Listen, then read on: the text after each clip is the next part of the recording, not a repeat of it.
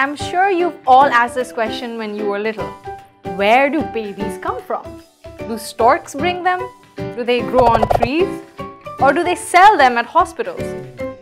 Just like human babies, the babies of animals like birds, giraffes or dolphins are created by the process of reproduction. But with so many different kinds of animals in the world, it's no surprise that there are many different ways in which animals reproduce or create babies too. While animals like humans, elephants and lions need both a male and a female to produce young ones, the Komodo dragon and the black-tipped shark can produce young from only a single parent. Some animals can actually turn from male to female and then give birth, like the clownfish.